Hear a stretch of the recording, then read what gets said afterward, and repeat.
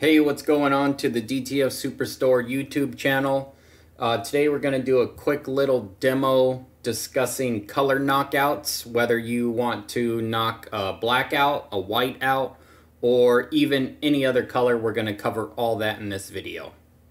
So there's a few reasons why you would use a color knockout with DTF printing. White sometimes you may get an image and there's an obvious white square or rectangle around the art, which of course you don't want to print that, so you would knock the white out. Sometimes you'll knock the black out because commonly we print on black shirts and there might not be a reason to print the black and we can just use the garment. And lastly, you might knock a color out. In this case, let's say we were printing on a red shirt. So I might as well use the red of the shirt instead of this red that's in the artwork and that will make less ink and a little bit better fill on the t-shirt. So let's discuss how to do all three. So before we get started, a couple quick things to know. First is that you need to be using a PNG or a JPEG to do this. So if I right click on my image up here in the top list on the left, you will see I can scroll down to production plugins I have knock me blackout and knock me color out. If I click on this PDF below, right click again, down to production plugins, it's all grayed out. That's because you cannot do this on a PDF. All right, let's really quick talk about the difference between knock me blackout and knock me color out. Knock me blackout has existed within CADLink for quite a while, but knock me color out was on a recent update a few months ago. The blackout is going to quickly knock it out automatically. As you can see, my black is all gone now. And so if I was on a black shirt, it's gonna look correct, but just to point out how this looks otherwise, see my black is all gone here. If I was printing on green, that wouldn't work. But now with the new feature, you can instead go to this knock me color out. Now on this top box, you can just on the fly click any color you want and see the preview instantly. So if I wanted to punch the blue out, you can see the adjustment down below. Maybe this orange in the fire.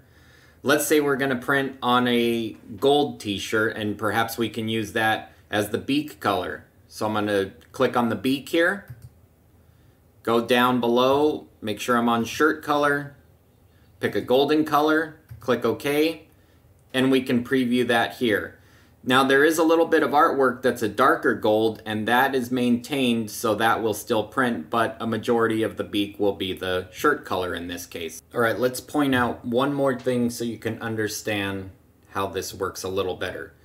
If someone gave this to me and the file did have a white background, well I would want to get rid of that yes, but I would not want to get rid of the white within the eagle's head. And what the CADLink tool does is it's going to remove the entire color. So because I'm mimicking printing on a shirt color of white, you can't really see that. But the white is gone, and if I change this shirt color to let's say green, now you can see that's gone, so this isn't gonna work.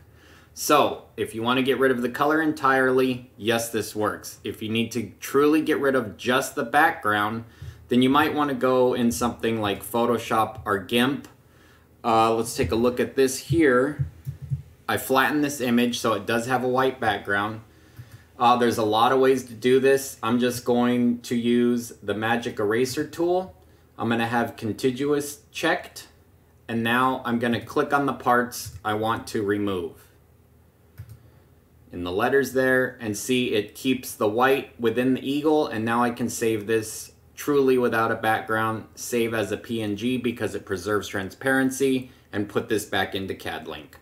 And the last thing here is just to run over some of these options. Uh, you don't need to use them often, truthfully, but if you wanted to knock out up to four colors, you could enable these checkboxes. I enabled all of them. Then you select the bubble, pick another color to knock out, as you can see, it's knocking out the orange, the yellow. That obviously doesn't look right, but for the demo, it shows you what it does. Uh, and then down here, you can view the background in different ways. Transparent, so now I don't see anything but the art. uh, a red mask, perhaps if you're used to masking in some of the Adobe programs, that's familiar. Uh, showing you the underbase, and then, of course, my favorite, the shirt color. So that's the rundown of Knock Me Color Out. Hopefully this will help improve your shop and your workflow. Uh, give us a thumbs up if you enjoyed this and you learned something. Go ahead and drop us a comment if you have any questions. Of course, subscribe to the channel, all that fun stuff. Until next time, DTF Superstore out.